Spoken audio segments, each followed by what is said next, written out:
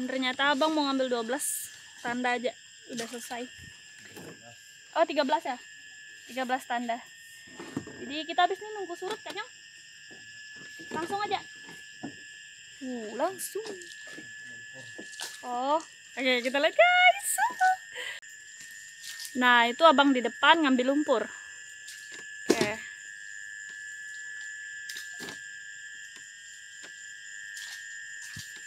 Aku ambil sentre bang. Jadi cara kita menjala tuh seperti ini. Abang ambil lumpur di depan, taruh di sini. Nanti dicampur sama dedak. Tuh lumpurnya yang kayak gini guys. Ambil secukupnya aja kan bang? Tuh sekitaran segitulah, baru dituang sama dedaknya kita.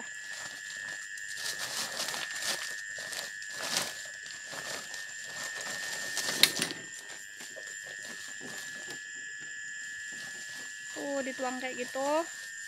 Baru nanti diaduk-aduk.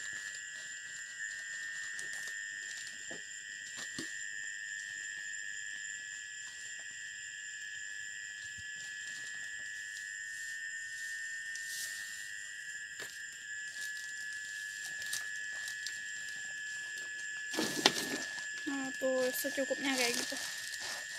Ini jangan sampai kebasahan nanti rusak dedaknya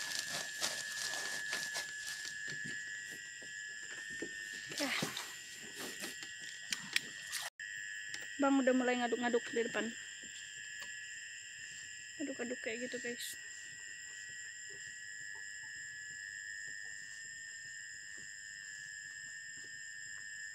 Kita nggak boleh maju ke depan. Nanti terjungkir kita karena di depan lebih berat. Jadi dari jarak jauh aja ya guys. Kalian juga bisa lihat kan? Atau kita zoom dikit. Ntar ya. Sarah zoom dikit. Nah kayak begitu oke kalian bisa lihat ya. Nah kayak gitu. Diaduk-aduk-aduk sampai rata baru nanti kita taruhnya tuh di pinggir-pinggir kayak gini. Tempat kita taruh itu kita tandain oke? Biarin abang aduk umpannya sampai rata dulu guys. Oh tuh kayak gitu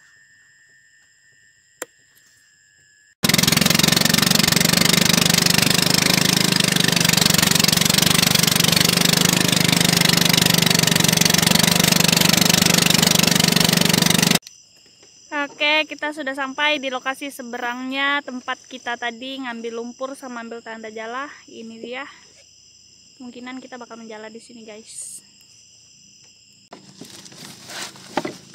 Ya, Bang udah mulai di depan. Kita standby di belakang. Kita menjala udang.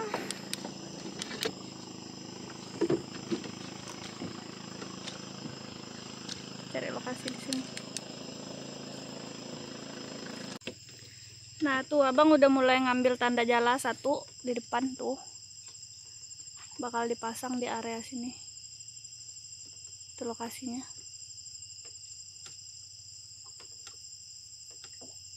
Tuh abang najak kayak gitu. Nah. Tajakin kayak gitu. Ini abang ambil lumpur Dilempar kayak gitu guys dibiarin sampai berapa lama gitu. Sampai ke dua jam gitu bang? Tidak sampai dua jam ternyata guys. Campuran dedak sama lumpur tadi seperti itu. Dan kita cari sampai 13 tanda sepanjang pinggiran sungai ini. Sampai sana. Nanti serunya mungkin pas kita menjala kali ya. Jadi kita biarin abang dulu pasang-pasang uh, umpan kayak tadi dan tanda-tanda jalan nanti pas menjalannya baru kita liput fullnya oke? Okay? hehe.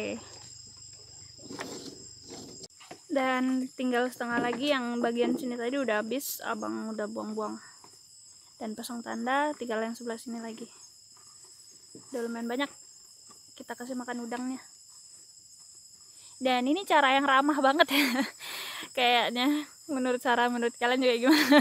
Kita kayak kasih makan udang gitu terus nanti kalau kita menjala kita menjala tuh ambil yang gede-gede ya dong. Amin dapat yang gede amin. Jadi oke. Okay. ya bentar lagi kita udah selesai. Kasih makan udangnya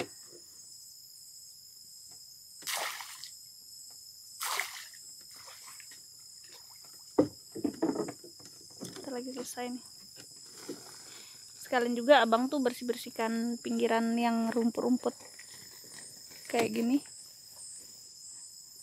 Nanti kita menjala biar nggak nyangkut-nyangkut. Ternyata umpan kita mulai kurang dan abang lagi bikin umpan baru.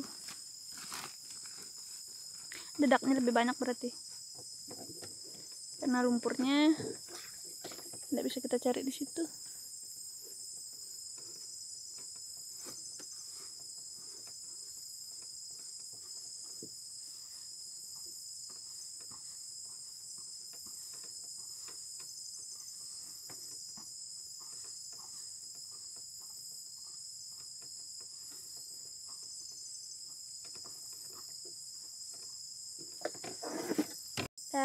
dan kita di bawah pohon-pohon. Itu lokasi menjala. Oke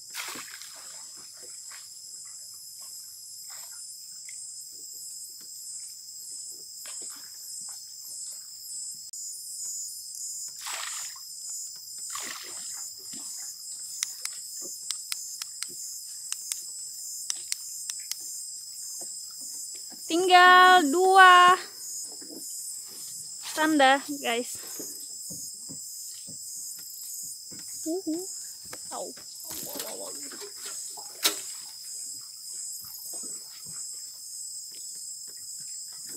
lokasinya dipilih abang banget.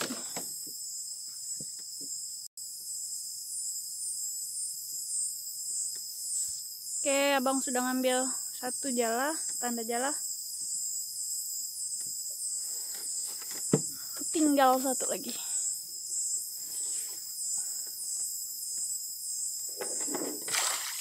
Mama yang banyak udang-udang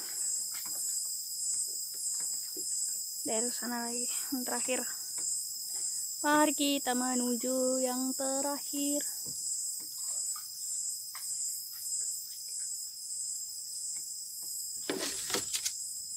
Oke itu yang terakhir guys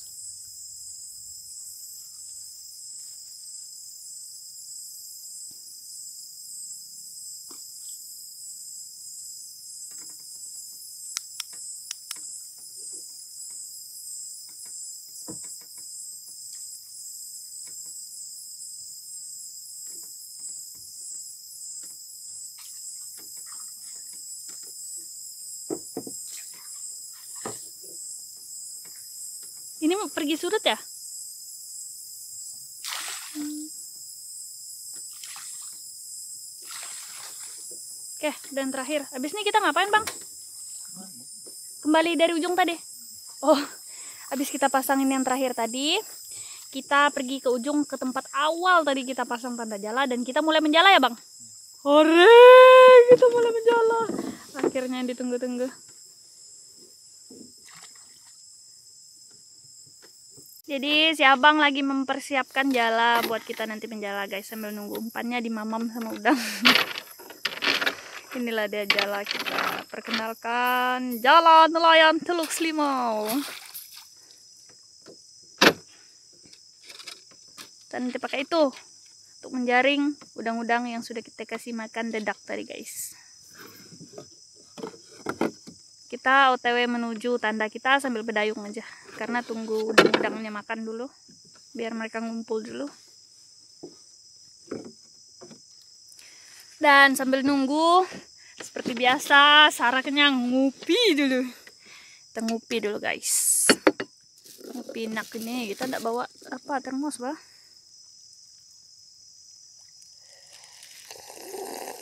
hmm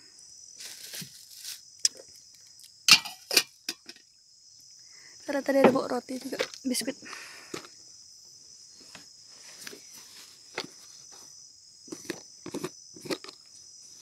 Bekal kita guys. Makan.